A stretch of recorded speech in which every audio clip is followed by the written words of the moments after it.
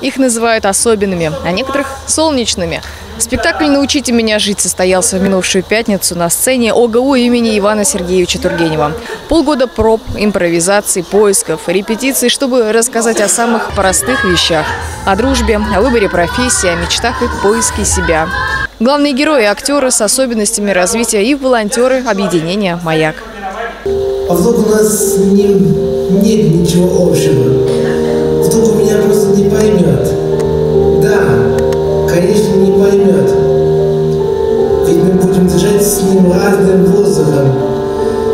Почему мое окружение не подходит? Почему они должны нести какую-то пользу? Они просто есть, и это главное. Странно все это.